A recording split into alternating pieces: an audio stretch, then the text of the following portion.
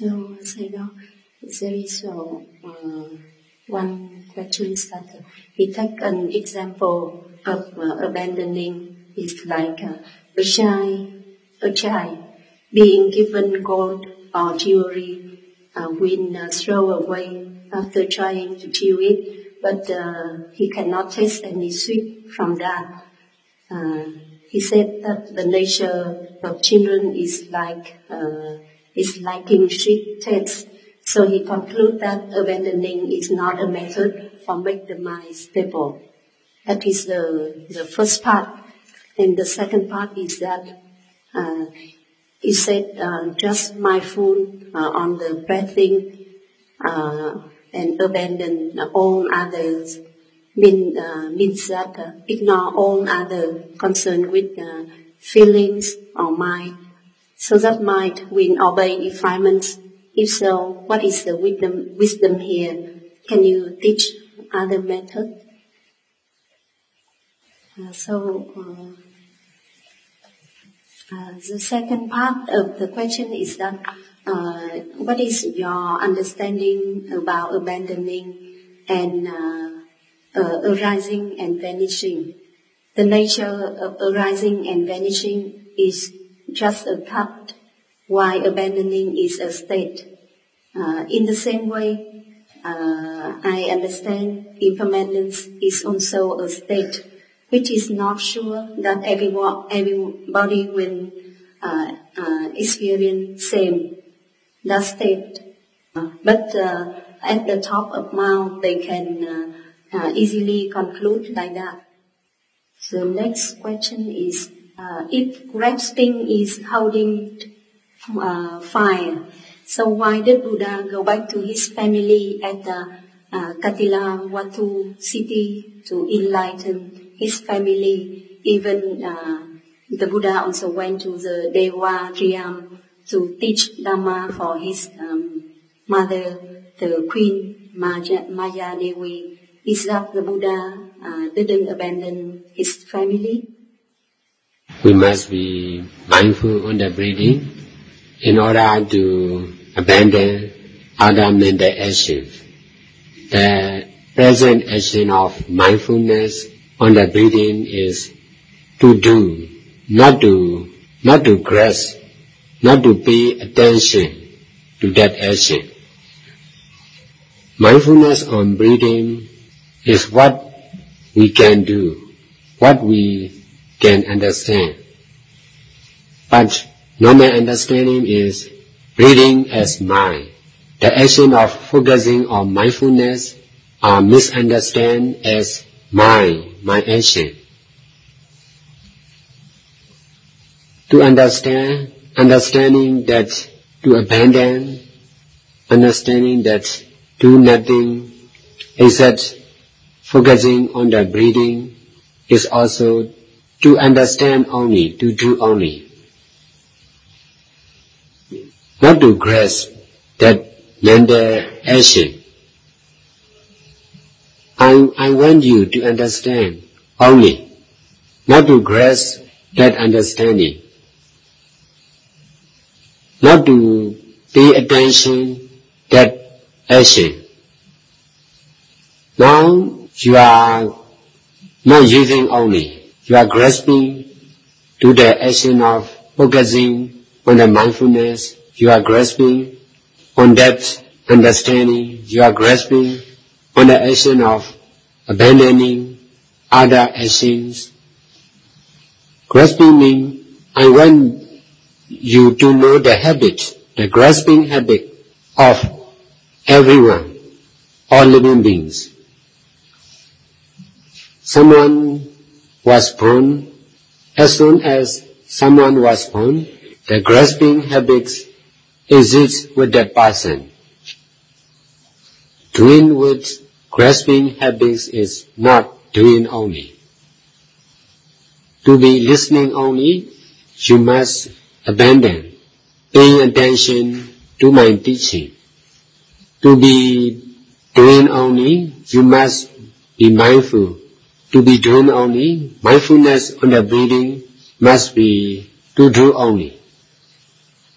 to be doing only, abandoning the other action, abandoning other action is to do only, not to grasp or not to pay attention to the action. They are only cause and effects. The action of mindfulness on the breathing is one of the cause. Abandoning the other action is also one of the cause. If we make a cause, there will be effect. Maybe we can do or cannot. Whatever result happen, it is to experience only. We need to understand like this and we need to be able to practice like this. If the mind is unstable, trying to be experiencing only, without grasping to that effect. If the mind is stable, trying to be experiencing only, without grasping to that situation. If we are paying attention to what we understand, we are grasping our intelligence. We are grasping what we know. That is also misusing cause and effect. We must try to be using only, experiencing only, doing only, knowing only, with all cause and effect. This understanding is to use only. Practicing like this is also to do only. This is the truth about all cause and effect. We must try to be able to use in the right way. Now you are paying attention, you are asking about my teaching, you are paying attention to my teaching. I want you to use my teaching in the right way, neither rejecting nor attaching. If you cannot abandon my teaching, you are mis- misusing the cause and effect, or misusing the never new impermanent nature. We need to abandon our belongings to be able to detach from them. Abandoning the belonging doesn't mean not to not to use the things, not to use the belongings. In order to detach from attachment, we need to abandon everything. In order to detach from our family, we need to abandon our family. It doesn't mean not to stay together. It doesn't mean to stay away from, from the family all the time. It doesn't mean like that. The aim of the action of abandoning must be to be free from attachment, to be able to detach from our family. We can stay together with the power of detachment. If we can abandon, staying together is not a problem. We need to abandon our normal life to detach from normal life. If there is detachment from the normal life, you can be a lay person. You can deal with lay people. Staying alone or staying with family, staying with people is not, not the problem. All the problems are caused by wrong understanding and attachment. We need to abandon our home, our town, our country in order to detach from that place. If we have the power of detachment, we can stay anywhere. There will be no problems with the place. In the beginning of my meditation center, there are a lot of problems, a lot of need. The food is not enough, the place is not enough, the medicine is not enough. That's why there are a lot of problems in the center. That's why in the beginning, many people who came to stay permanently, but they cannot detach from the situation. They cannot detach from the problems. That's why they have to go back. Although they, they come to meditate to the center, they cannot detach from their home. That's why they have to go back to the to their home.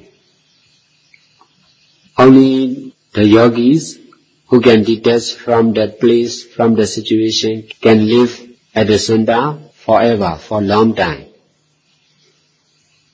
There are also a lot of problems and difficulty in practicing meditation. That's why if the yogis cannot detach from the difficulty, and uncertainty, cannot practice anymore. They have to abandon their practice. We also need to abandon our action. Not only physical and verbal, but also mental action. It doesn't mean not to do anything.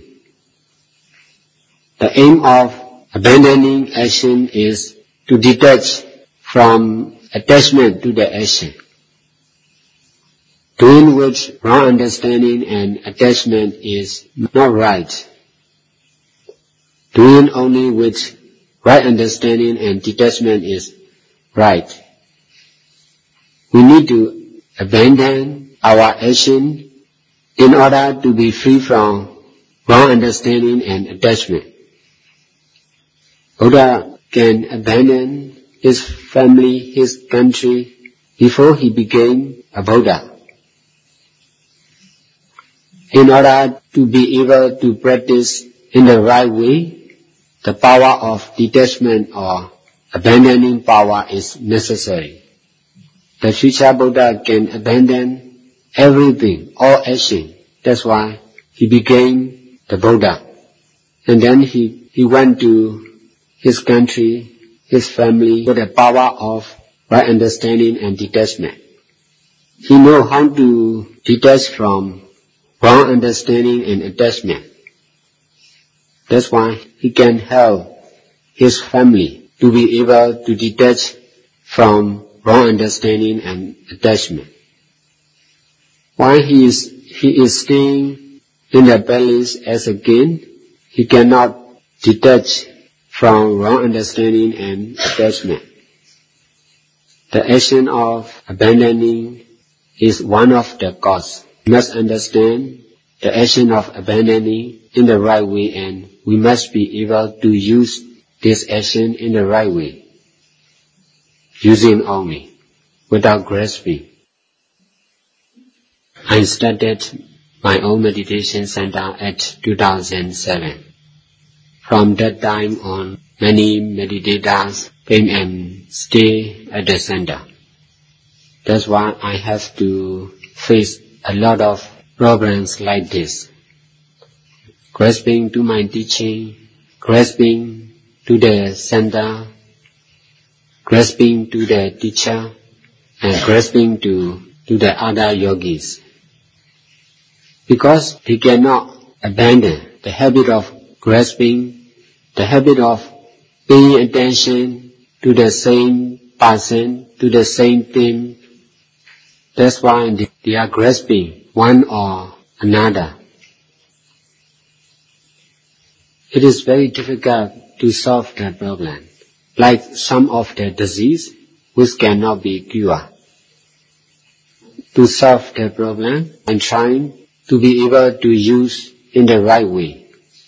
I cannot help them to abandon their habits. That's why I'm trying to detach from them. I allow them to stay at the center, but in order to, to let them do good deeds, only the action of doing good deeds can be less and less wrong understanding and attachment. That's why I'm, I make my meditation center as full-time meditation center not all-time meditation center. In order to give chance to the meditators to practice regularly, to do good deeds daily. If I cannot explain by using words, I will let them to solve the, their problems by let them do good deeds by themselves. It is the best, the best thing I can do. In this way, time after time, strong attachment to wrong understanding and wrong action become less and less. There are remaining only few problems. If wrong understanding is very powerful, it will make wrong action and there will be many problems. If the power of wrong understanding became weaker and weaker, there will be less wrong action and less problems. That's why our own action of doing good deeds is the most important for everyone. We must rely on our own action of doing good deeds. This is the answer to all questions. If you cannot understand by listening Dhamma talk or learning Buddhist literature, trying to do good deeds more and more, and then one day you can understand. You can understand the truth.